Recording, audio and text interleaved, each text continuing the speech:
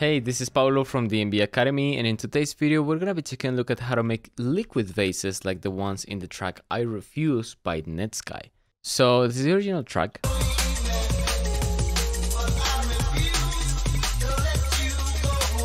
And this is the bass we're making.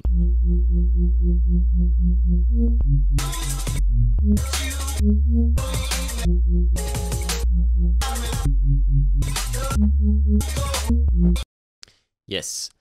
But before we get started with the video, make sure you get subscribed to the channel and hit the notification bell to not miss any for future videos. And if you want to get access to preset and the project files, you can become a member of Preset Pass. The link is in the description below. So with that being said, let's get into the video. So as you can see, the patch is divided in two serums. And these two serums have different nodes. So this first serum is just a sub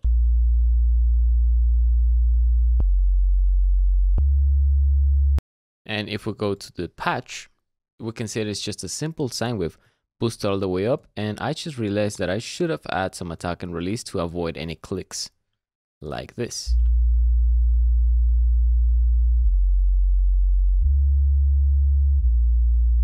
Cool, so this is basically it. This is the first patch, but the combination of these two is what is interesting. So as we can see, this first patch is just A sharp, F sharp, and then C sharp. But then the second one, this one right here, is F2, then A sharp, C sharp, A sharp, G sharp, and A sharp, which is very weird, right?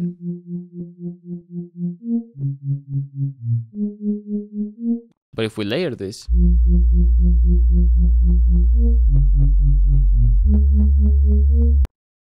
that's what we get. Now let's just take a look at um, this serum. And what this is, is basically two sine waves right here. So let's just remove the effects. And then let's take a look at the first oscillator. So it's just one sine wave. And now let's hear the other sine wave.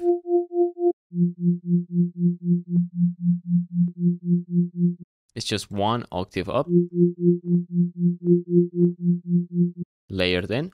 And then we have a hyper and some chords. And then this macro is modulating the rate of this LFO. And so if we put an EQ on the master, like this, we can see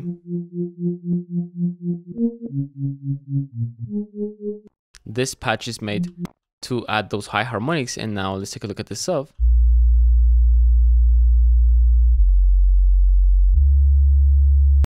We can see how the sub is just doing soft things, right?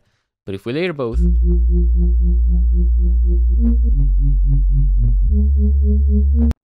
we can see the whole movement happening. Now let's just take a look at the relations in terms of harmonics between these two. So the sub is playing A sharp.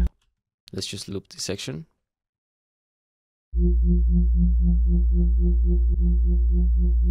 And the layer is playing F2. So it's one octave up and eight semitones apart.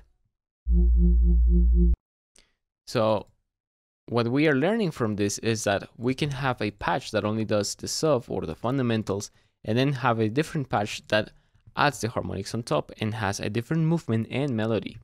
So this was one of the best things that I got out of remaking this bass was that I learned that liquid basses can be more than one patch and the relations in terms of harmonics can be super interesting thanks to all of the variations that you have.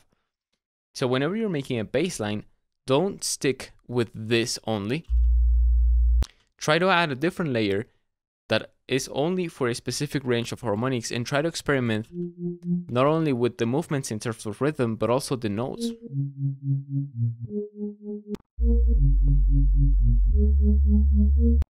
So Netsky was a little genius when he made this bass. And the good thing is that we can learn from him and try to improve our tracks this way. So yeah, that's gonna be it for this sound and also for this video. If you liked it, make sure you get subscribed to the channel and hit the notification bell to not miss any of future videos. And if you wanna get access to preset and the project files, you can become a member of Preset Pass. The link is in the description below. So thank you so much for watching. Hope you have a nice day and I'll see you in the next video. Bye bye. We'll be right